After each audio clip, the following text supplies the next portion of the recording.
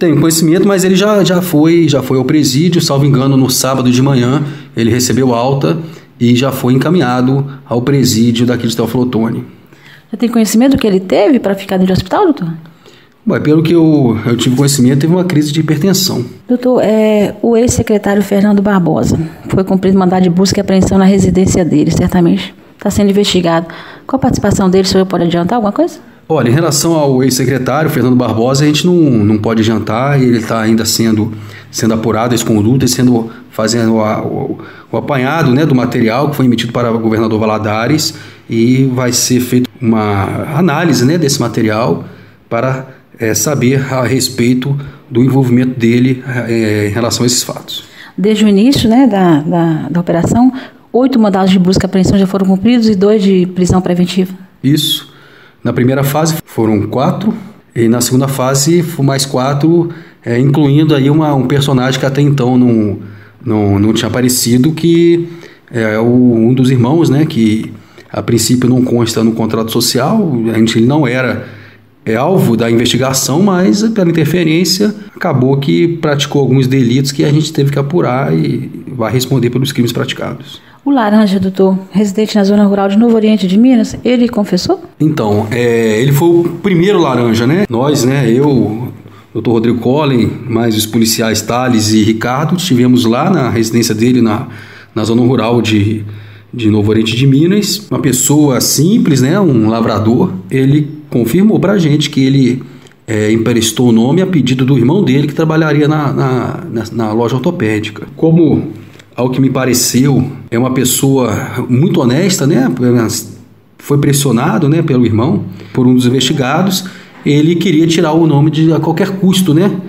estava é, atrapalhando ele receber alguns benefícios trabalhistas e tudo mais. E então ele pressionou muito os proprietários né, da, da empresa, da loja ortopédica, e com muito custo ele conseguiu é, que fosse retirado o nome dele da, como sócio laranja.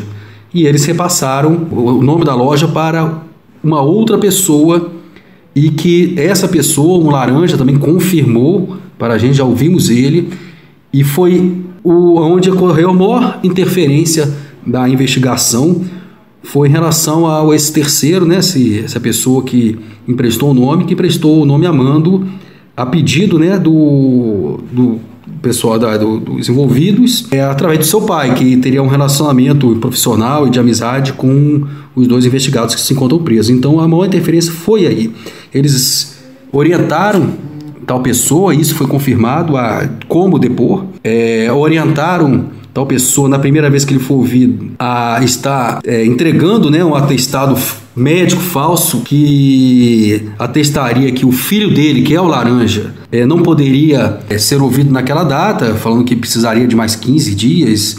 Então, isso completamente falso, né, o atestado. E no dia em que essa pessoa foi ouvida, que é o seu Pedro, no dia, a gente marcou, salvo engano, para as 13 horas do dia 7 de julho, salvo engano, e no dia, pela manhã, um dos envolvidos que se encontra preso o procurou, querendo encontrar com ele de qualquer jeito, e acabou que não houve esse encontro, né? mas houve pelo menos nesse dia a tentativa e o contato com uma testemunha, o que é inadmissível no curso das investigações. Por isso, tal medida foi decretada. Esse atestado, o senhor tem conhecimento se foi é, concedido por amizade ou pago?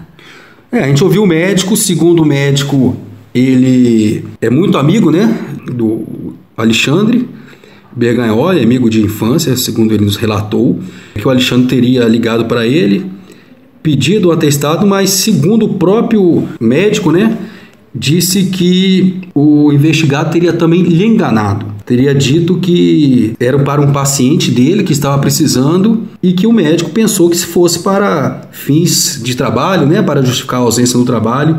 Então, segundo o médico, ele também foi enganado pelo, pelo Alexandre, fazendo com que fosse emitido né, esse atestado falso. O médico não estava nem aqui em Talflotone, estava na cidade de Taubim. Foi mandado né, um táxi para buscar o, o atestado falso. Inclusive foi passado os dados né, do paciente por telefone para ele. E segundo ele, ele queria, ele pediu né, para que o Alexandre o apresentasse, apresentasse o paciente naquele mesmo dia o Alexandre disse que seria impossível, mas que então ele apresentasse o paciente na, no dia seguinte, o que é, de fato não foi feito.